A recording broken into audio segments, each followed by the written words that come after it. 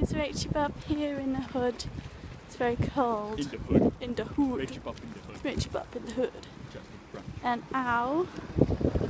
And we're just heading to Rai Rai's Mama's to have a Christmas drop off and also some food.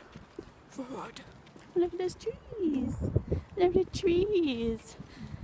Um, just want to tell you, in case you don't watch my main channel, I will be doing.